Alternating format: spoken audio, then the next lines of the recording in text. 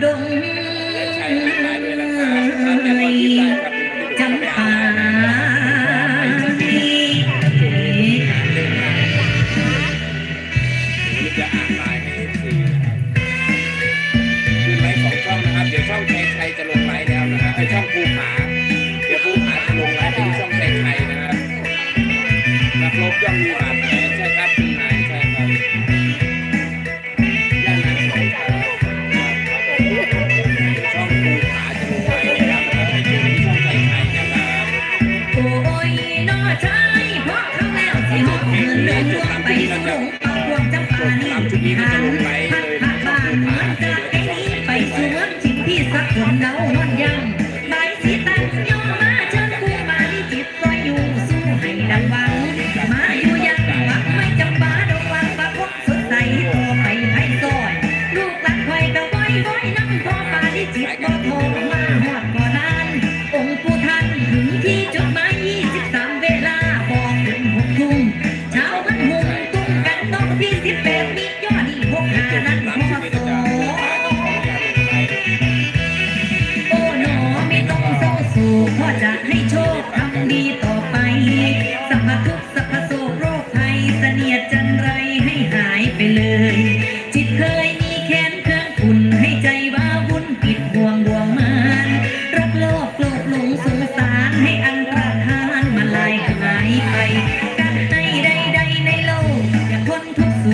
ให้อภัยทาน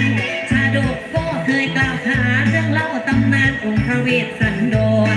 ไวยพรลูกหลานผู้กล้าอันเชิญผู้มาประ